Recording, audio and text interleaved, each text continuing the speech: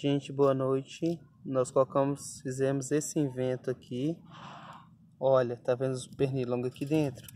Nós temos aqui a nossa casa, é fossa, tá vendo? Ainda não tem rede de esgoto. Gente, nós vimos esse vídeo, um vídeo na internet. Aí nós fizemos também. Não sei se você está vendo os pernilongos voando aí. Nós colocamos agora, ó. Já tem dois. Já, já tem dois. Olha, pessoal. Olha aí, tá vendo? Aí eu mostro que agora.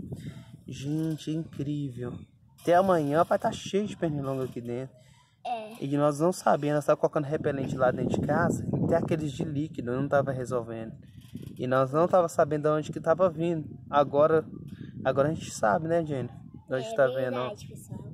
Não, pessoal. Que legal. Olha, é dos pernilongos daqueles, sabe? Daqueles que. Olha, tamanho desse, desse pernilongo.